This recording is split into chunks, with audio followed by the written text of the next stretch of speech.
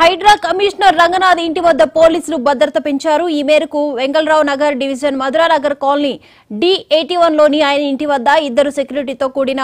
out పోస్టును ఏర్పాట్లు చేశారు నగరంలో చెరువులు కుంటల్లో అక్రమ కట్టడాల తొలగింపును వేగవంతం చేసిన నేపథ్యంలో ఆయనకు ఏమైనా ముప్పు ఏర్పడవచ్చనే అనుమానంతోనే ప్రభుత్వం ప్రత్యేక భద్రతను ఏర్పాట్లు చేసింది ఇటీవల సినీ నటుడు నాగార్జునకు సంబంధించిన ఎన్ కన్వెన్షన్ కూల్చివేత తర్వాత